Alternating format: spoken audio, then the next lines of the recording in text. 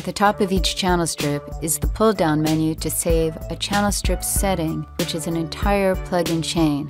There's an option lower left to create a new subfolder. I'll create a new folder for my singer for this song.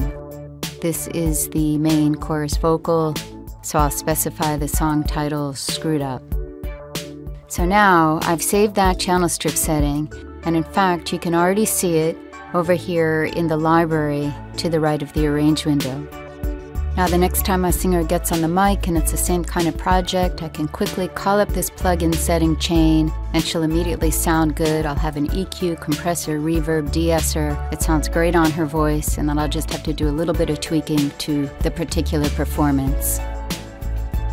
Channel strip settings are available for audio tracks, software instrument tracks, and also for the main output. If I select the main output, you can see that there are a whole set here which are in effect mastering and analysis settings from the factory. I've seen the Logic sessions of more than a few hit songs that use these Logic channel strip settings straight from the factory.